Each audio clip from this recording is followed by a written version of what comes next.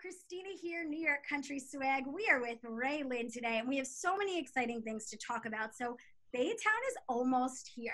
I'm so excited. Thank you.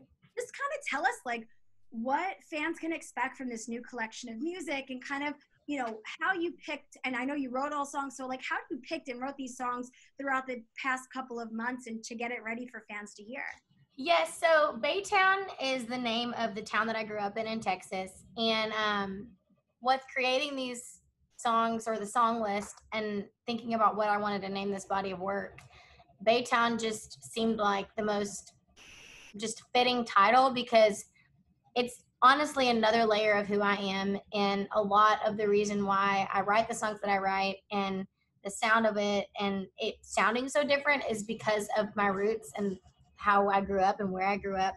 And so I just felt like this new body of music really just showcases that new layer that I don't think a lot of fans have seen.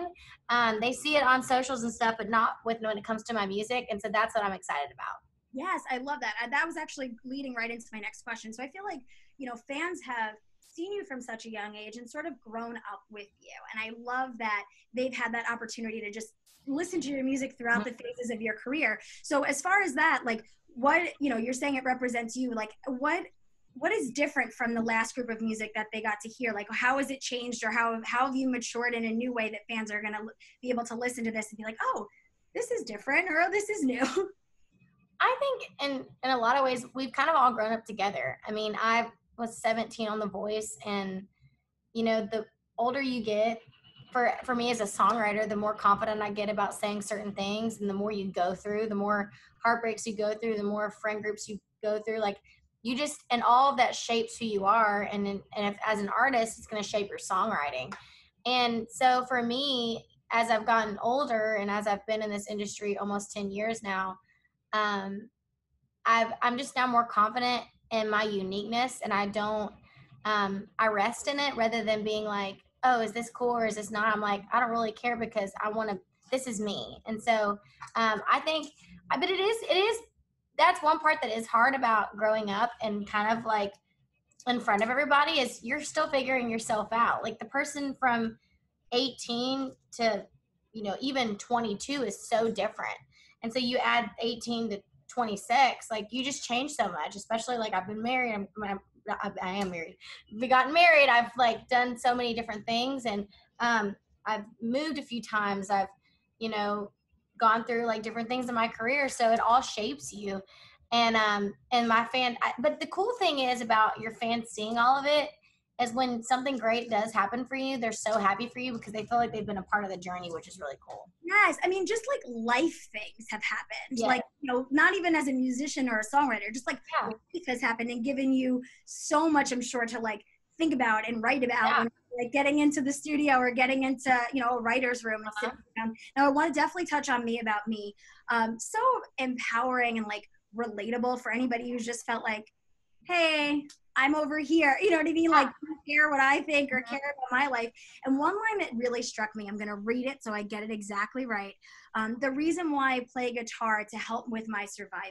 Uh-huh. Just about that line. I think um, survival these past couple of months have been has just been really, really difficult yeah. the whole world. And I think you know how has music sort of um, gotten you through this this whole time?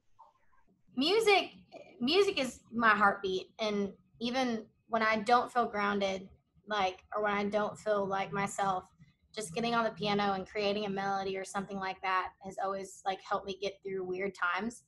And um, and the reason why that's my favorite favorite part of that song is is because I feel like everybody has a reason why they do what they love. Everybody has a reason why they do their profession. And for me music's more than just being an artist and being in the spotlight. Music is my survival. Like i write songs to help me get over things. Like i never knew how to process my parents divorce. I never knew how to process those feelings. But then when i wrote love triangle it was like writing it on a page and putting it to a song and to a melody helped me process those feelings and so the same with me about me the same with fake girl town the same with those kind of songs it's like as as an artist the way that I mean, as a person, the way that I go through things is by creating is creating music around it.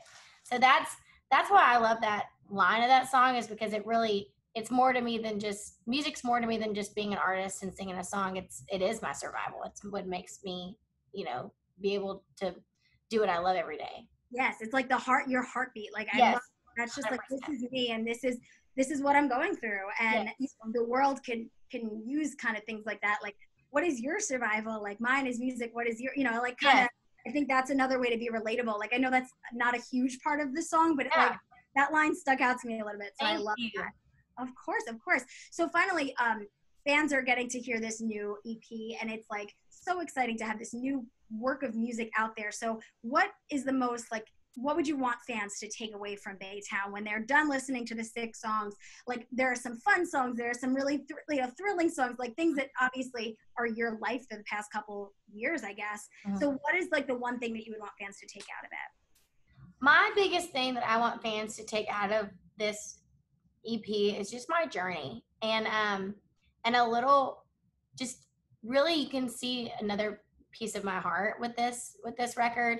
Um, it really showcases my fun side, um, my sassy side, my side that is still madly in love with my husband, and my side that also um, loves country music and being an artist in country music and showcasing what I see like how I portray my version of country music. And so that's what I just love about this EP is and that's why I called it Baytown because where I grew up, nobody else in this town in Nashville grew up. Nobody else grew up in Baytown and that's what makes me different in this town is is the imprint that that town had on my soul and on my heart and how I grew up with my family and the just the environment. And so taking that and then my relationships that I've built here and my career like that's Baytown. That's this record. And um, and I, when you hear this record, I know you're gonna feel my whole. You're gonna see and feel my whole heart. I love it. Well, we can't wait for fans to be. Thank you. This is gonna go up like the night before, so we'll have a whole awesome ready, and we're so excited for just people to hear and to see the new RaeLynn. And, and thank you. It was great chatting with you. Thank great you. chatting with you too, love.